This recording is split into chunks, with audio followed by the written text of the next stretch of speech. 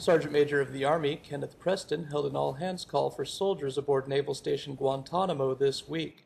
Staff Sergeant Andrew Woods voiced his thoughts about the visit. I thought it was good to good for the soldiers for them to be able to hear him speak and to know that he's not just a picture on the wall, you know, somebody who actually cares.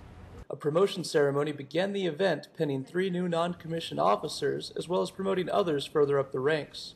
Sergeant Vincent Sindab expressed how he feels about becoming an NCO. Kind of nervous, but you know, I got peers, you know, guys who you know been through the ranks and they, you know, mentoring me, teaching me what I need to know as a leader. So, kind of excited. Sergeant Teresi Murphy, also promoted by the Sergeant Major, explained the special significance of the event. Being promoted by the highest non-commissioned officer into the ranks of an NCO, you know, means a lot to soldiers. You know, telling you, hey, you can do this one day if you just set your mind to it. Sergeant Major Preston opened his discussion with gratitude to service members stationed in Guantanamo and stressed the importance of their mission. I just want to say first, thank you for what you all do. And uh, your mission down here is very, very important. Uh, very sensitive mission. It's, it's constantly in the limelight. I know you get lots and lots of visitors down here.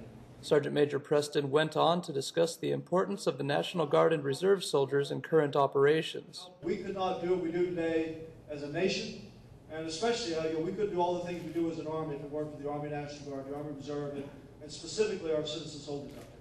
Following a discussion of current global missions, Sergeant Major Preston went over the Global Assessment Tool. What the Global Assessment Tool is designed to do, it's designed to show every individual your strengths and your weaknesses. We want to teach soldiers like yourself, you know, how to think and not what to think. And this way, when you're faced with challenges in life, you're able to turn things around and come up with your own solutions and uh, take the challenges in life and make them strengths.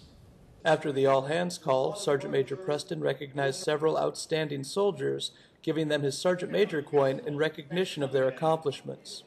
Though only a few soldiers received individual recognition, all in attendance enjoyed a morale lifting discussion with the Army's highest ranking non commissioned officer. Reporting from Guantanamo Bay, Cuba, I'm Specialist Justin Pierce, Joint Task Force Public Affairs.